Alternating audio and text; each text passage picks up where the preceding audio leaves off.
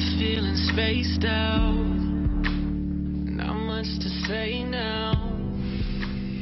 Don't talk, just lay down. I got what you want right I know you're pissed. Tease me with I don't blame you. You did this amazing thing for me, and I never thought about how it would affect you, too. I get why you would regret being with me. I don't regret being with you. I regret letting everyone else in on it. I liked it when it was just us. I don't, I don't like losing that. You haven't. Everything we're going through is only going to make more of us, not less. We're still in this together. It's still just you and me. But for two people who are in it together,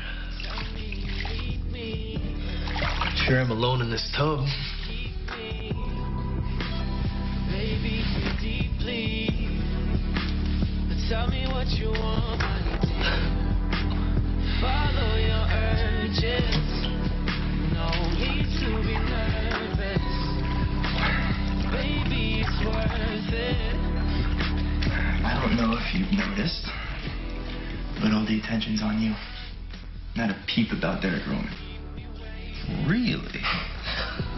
There are literally dozens of reporters outside waiting for us to get out of the bath.